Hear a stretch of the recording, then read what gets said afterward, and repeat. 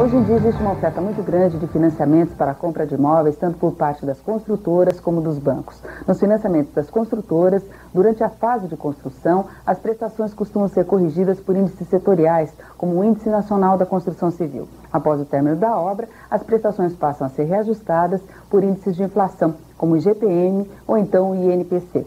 Nos financiamentos bancários, de um modo geral, as prestações são reajustadas de acordo com a TR mais juros. No caso dos financiamentos das construtoras, é sempre bom o consumidor verificar se a empresa costuma cumprir os prazos para entrega da obra e os termos do contrato. Nos financiamentos bancários, o próprio banco costuma verificar como é que é o trabalho da construtora.